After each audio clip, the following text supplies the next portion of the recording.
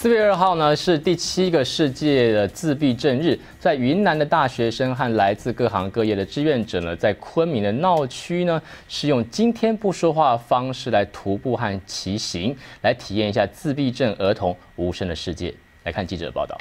蓝帽子、蓝丝带，志愿者身上的蓝色让昆明的街头出现了一道独特颜色。志愿者们戴着印有“今天不说话”字样的口罩走上街头，向路上的行人发放宣传册和蓝丝带，希望唤起更多的人对自闭症儿童的关爱。这种换位体验让志愿者们体验到了自闭症儿童和他们的家庭所承受的压力。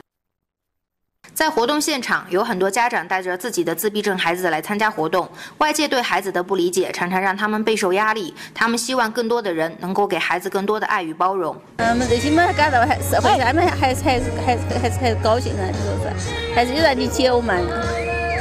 慢慢的嘛，我觉得些以后我就慢慢的会有人接受我们的娃娃。要来了娃，来了他们。让更多人能接受我们的娃娃。